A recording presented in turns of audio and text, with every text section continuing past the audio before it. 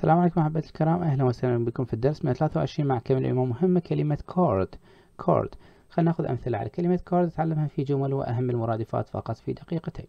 إذا أضغط على إعجاب اشترك في القناة فعل زر الجرس. هذا الشيء مهم حتى تحصل على جميع الدروس وأيضا شارك هذا الدرس لجميع أصدقائك عند نهاية هذه الحلقة.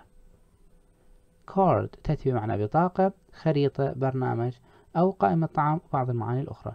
card card مثال أول على كلمة card A membership card entitled you to library services إذا a membership عضوية card بطاقة عضوية a membership card بطاقة عضوية entitled you يتيح لك to library services يعطيك الحق أو يتيح لك الحصول على خدمات المكتبة إذا خلينا نقرأ هنا وأنت الآن a membership card entitled you to library services ممتاز المثال الأول.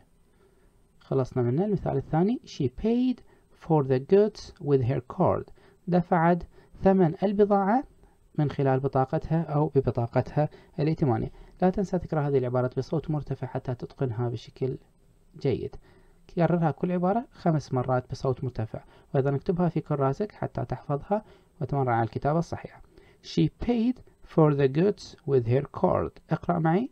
She paid for the goods with her card. ممتاز. أما أهم المرادفات لكلمة card ticket ticket map map menu menu program program تأتي لأهم المرادفات لكلمة card. أما الآن استخدم كلمة card في جملة استخدمها في جملة واكتبها أسفل هذا الفيديو حتى أستفاد منها الآخرون أيضا. إذا كلمة card ضعها في جملة. شكرا لك على المتابعة. انتظرنا في الحلقة القادمة 124 مع كلمة مهمة جدا أيضا وكلمة كاري سوف نشرحها بالتفصيل في الحلقة القادمة. إلى اللقاء.